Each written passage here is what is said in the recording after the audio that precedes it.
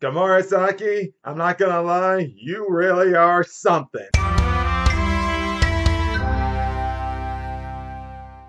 What's up, YouTubers of the world? Mega Geek Mixer here to bring you guys this week's review on One Piece Manga Chapter 932. And man, wow, this was interesting, very interesting. First off, let's start off with the opening. Now, the opening is Komurasaki. She's in her uh, mask and doing the little doing the little play the play i i forget what that was called. I really got to re- go back on my research on that but pretty much all you, what i do know it's almost like how they would open up the thing for those those shows they did. Back when i was discussing the the first chap i mean the chapter that ended act one it was like the opening scene for act two.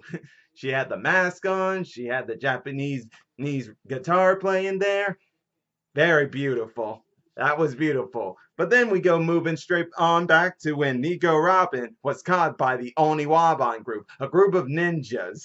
And yeah, she tried to find a way to talk her way out, but no, not good.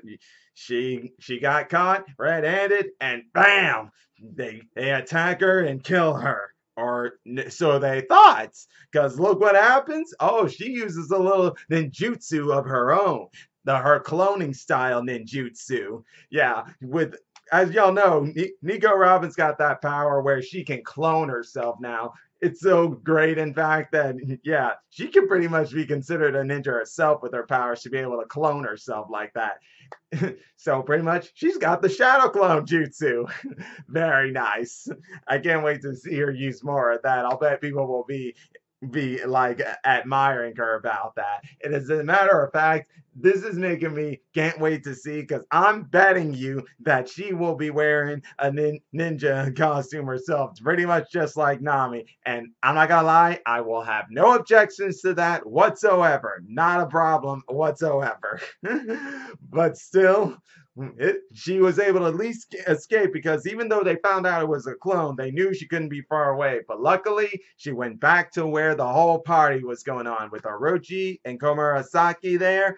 And then she started to get into trying to get a little more info on the island and everything. But this is where we shift right back on into Kiroshiro, who seems to be getting the admiration of a lot of people at that party and stuff. Well, mostly because he's the one who brought Komurasaki over and everything. And he also explains how since he, he and his Yakuzas they're like family and stuff. And if you mess with their family, you're gonna be brought down hard, which they tried to do, which they did when they sent the the headliners, one of the top headliners of Kaido's crew after Sanji and his gang, when he was selling when he was selling a little booth um, of soba and and they were out running a business and he injured one of their families, sends out that guy with the uh, what was his name again? Opage, I believe page or something. I can't remember off the top of my head. And as y'all know, Sanji with his armor went into a fight with this guy. but as we know, Sanji's fine and everything. But they probably think that he's dead. oh, you guys are going to be surprised later on with that. Now, but okay, this but during this, but also we also find out that Kini that Kuroshiro, he would really like to fight Kinemon some someday. And this happens when Orochi's going into a little speech that people have a hard time believing, which I'll get in here here too later. But basically, when he Kinemon was pretty well known back in the day, but most people don't know him now. But but Kiroshiro, he knows him, knows about his Firefox style, and would really like to face him one day. So do we already got a setup for a battle for one of the battles coming in the future? Kinemon versus, Kiroshiro? Because I'm not gonna lie, I would really like to see what this Kiroshiro guy's what his fighting style is. We already know Kinemon with a Fire Fox style, cutting through flames and everything like that. I like that. Very cool. Very cool indeed. so I would definitely like to see this battle between two samurais. this will be cool. So it's good to know we may have a setup for one of a confirmation for one of the battles going forward. but now we're going to go into the big two main event points to this chapter. And that was the first off with Orochi. We learned actually more about Orochi's character and Komurasaki's character. You see, it turns out Orochi, during it seems that during all his little celebratory events, he likes to go on about the story about how he took control of Wano country and everything. And well, the way he presents it, it makes people be like, here he goes with that crazy story and everything.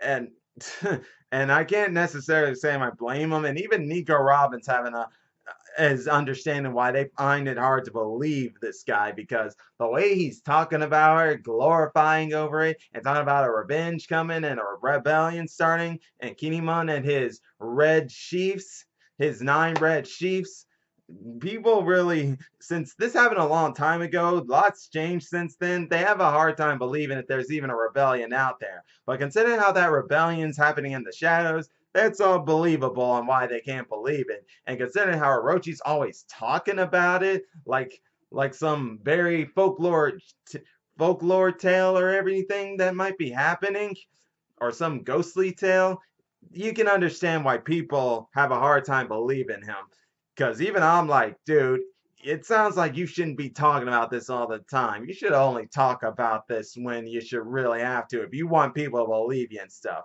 But this is where it all goes into into the final ending. So it turns out it's it's become such a but ridiculous thing that people will try to laugh at it. And if there's one thing we've come to learn now about Orochi's character, it's his character in the sense of people laughing at him is like Pica's character. Yeah, from Doflamingo's crew, one of the top executive officers from Doflamingo's crew who ate the Stone Stone fruit. He he has a very high pitched voice. He, and and people laugh at it because it just don't fit and i don't blame them even i'm like okay that voice just don't fit a guy like that an high pitched voice that's just crazy But that's all. Pica's very sensitive about his voice, so he'll attack anybody who laughs at him. Well, that's the same with Orochi here. That leads into the final chapter. You see, Otoko was laughing out loud about that while everyone else was trying to hold it in. But those were all adults. Toko, Otoko's just a kid. But even still, Orochi don't care if you're a kid. You laugh at him, he's gonna try to kill you. And that's exactly what he tried to do. Luckily, Robin was able to get her out of get him out of safety zone. But this is where we get a stand from Komurasaki, where we see some very unbelievable bravery, even to a man as violent as Orochi. Because when he tries to harm Otoko, she just slaps him, slaps him and knocks him to the ground, showing that she don't care who you are. She is the daughter of a warrior. She is not backing down. She don't care who you guys are. And considering how she's done with all these men, it don't surprise me that much. Well, maybe it does a little, but still, considering how she is with men that's similar to Hancock, nah, not really that big of a surprise, but somewhat so. So, but either case, when she showed off how brave she was, and the very mention of her saying she's a daughter of a warrior makes me think is she the daughter of maybe one of these nine red sheath warriors out there? Maybe, maybe not. We'll see going down the road. But this all led to Orochi finally showing off his devil fruit again. And it was and while we already saw a a solid a silhouette, yeah, silhouette, that was the word I was looking for. Sorry guys a silhouette and drawing of it. We get the full version of it. And yeah, pretty much what you expect in Orochi or an Orochi form. I guess a mythical Zoan devil fruit. With with what this arc is going for, with how Kaido has devil fruit users that are Zoan types, animal types such as ancient, myths, and regular Zoan users, carnivores maybe too. It didn't surprise me with that for most of these devil fruit users we're going to be seeing and we're going to they're no doubt all going to be fighting it's going to be just that a bunch of Zoan users from myth Zoan i mean myth Zoans ancient Zoans and regular Zoans out there so you can be you're not going to be surprised much with that but it still leads into something else that we might see later on because after this chapter i'm like what's about to happen because Kiyoshiro was like looks like there's going to be a bloodbath well, since Komurasaki is part of his little Yakuza group, I guess he's gonna attack. Well, all I gotta say is, we'll see. Let's just see what happens, because that was something. yes, this chapter was a very interesting set setup for things to come, while giving us more development on these characters, seeing more sides to themselves. and yeah, with how I saw the appearance of this Orochi guy and his attitude and everything, I'm not really surprised with what we're seeing and everything from this guy, but it's really going to be interesting to know more on him, more on him, more of the past, and more of everything else to come we actually need to get more on what's going to happen with Momonosuke. Last we saw, he was with Chopper and the others finding Big Mom. Well, I wonder what this may all lead into. Let's find out. And will there be more with Otoko and meeting up with like maybe Momonosuke and Otama? Otama, who was earlier on in this arc with Luffy? I would definitely love to know. What did you guys think of this chapter? Leave them in the comment section down below and click the bell icon to be notified when I make more videos. And if you're loving my videos, subscribe to the channel. And like I said, click the bell icon to be notified of more videos. I did that backwards there, guys. Whoops, sorry. But in either case, Mega Geek Mixer signing out. Bye!